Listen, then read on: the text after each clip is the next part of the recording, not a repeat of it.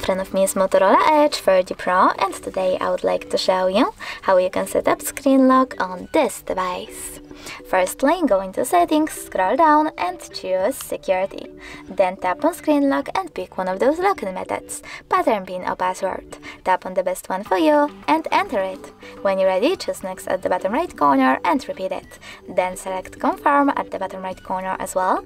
And over here select one of those options, how do you want the lock screen to display your notifications. I will go with don't show notifications at all, so I have to click on it and tap on done at the bottom right corner. Then when I click home button, turn off my screen and turn it back on. As you can see pattern is now required. Thanks so much for watching. If you enjoyed this video, leave a like, comment and subscribe. Bye!